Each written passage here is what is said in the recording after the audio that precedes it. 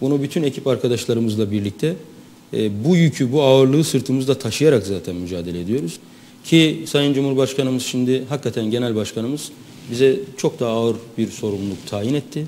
Bu ağır sorumlulukla birlikte kimseyi kenarda bırakmadan, hiç kimseyi küstürmeden, ötekileştirmeden, herkesi kucaklayarak, birlik beraberlik içerisinde, sadece parti içerisinden bahsetmiyorum.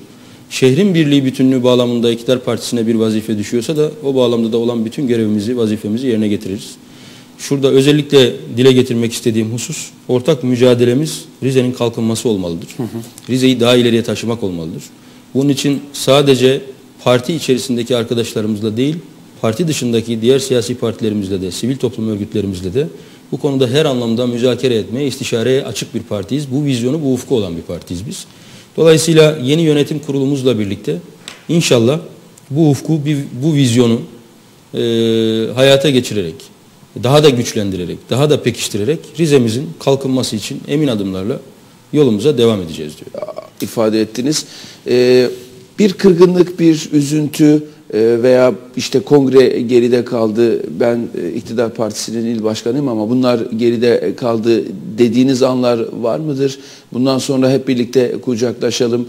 2019 e, seçimleri önemli. Zaten Sayın Cumhurbaşkanı da buna önem veriyor. Bu şekilde bir değerlendirmeye tabi tutmak istediğiniz alanlar oluyor mu? Şöyle yani üzüntülü olduğumuz kırıldığımız elbette ki çok şey var. Hı hı. Yani onun özellikle altını çizeyim. Benim üzüldüğüm hakikaten çok şey var ama e, bizim üzüntümüz AK Parti il başkanının çok bağlamaması lazım. AK Parti il başkanı e, yani belki Muhammed Avcı kimliğinin de haricinde e, son derece objektif, çok fazla duygularına kapılmadan sadece partimizin menfaatleri ve partimizin doğruları neyi gerektiriyorsa onu yapmakla mükelleftir. Dolayısıyla yani kendi hislerimizi il başkanlığı vazifemizle karıştırmamamız lazım. Evet. E, bu anlamda da e, ben kongre süreci tamamlandıktan sonra bütün e, defterin kapanması gerektiği ve birlik bütünlük içerisinde, beraberlik içerisinde e, 2019 seçimlerine hazırlanmamız gerektiği kanaatindeyim ve uygulamalarımızda da bunu göstereceğiz zaten. Hı hı. Hiçbir şekilde e, tekrar altını çiziyorum. E, bir hesabilik gütmeden sadece hasbi bir şekilde partimizi daha ileriye taşıyabilmek için, Rize'yi daha ileriye taşıyabilmek için mücadele etmenin gayret içerisinde olmamız lazım. Bu anlamda asla e, kendi kırgınlıklarımızı, kendi üzüntülerimizi si siyasetin konusu, teşkilatın konusu haline getirmeyeceğiz. Kişisel hale getirmem diyorsunuz. Özellikle altını çiziyorum. Hı hı. Yani ciddi sürprizler de gelebilir, onu da söyleyeyim. Şimdi yani, buradan bunu deyince... yatırımla ilgili hakikaten ciddi sürprizler gelebilir. Ee, yani ciddi bir çalışma yapıyoruz. Ee, bu, bu çalışmalarımızı tamamladıktan sonra inşallah e, açıklamalarımızı özellikle Sayın Bakanımızın başkanlığında e, yaparız. E, ama emin olun Rize'yi daha ileriye taşıyabilmek için, Rize'nin turizmini, Rize'nin ticaretini daha ileriye taşıyabilmek için, Rize'deki insanların daha konforlu bir hayata ulaşabilmeleri için elimizden gelen bütün gayreti ortaya koyuyoruz. Hı hı. Ve yatırımlarımızı da titizlikle takip ediyoruz. Titizlikle takip ediyoruz. Evet. bu anlamda Rize'ye Yapacağımız daha çok fazla iş var.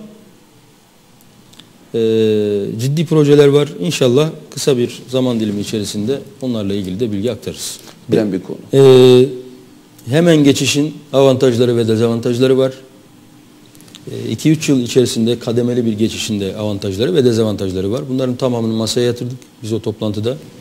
Ee, şu anda teknik arkadaşlar, bakanlık personeli, e, arkadaşlarımız bu konuyla ilgili çalışmalarında devam ettiriyorlar. Organik gübre ile ilgili verimlilik analizleri yapılmış. Bu analizlerle ilgili neticelerin de e, özellikle takip edilmesini biz e, orada dile getirdik. Yani verimlilik analizlerinin e, bir kısmında neredeyse hiç verim düşüklüğü olmadığı görülüyor. Ama bir kısmında %30 civarında bir verim düşüklüğünün olduğu görülüyor. Evet. E, daha sonraki yıllarda bu verim düşüklüğünün telafi edildiğine dair şeyler var. E, kanaatler var. Çeşitli fikirler var.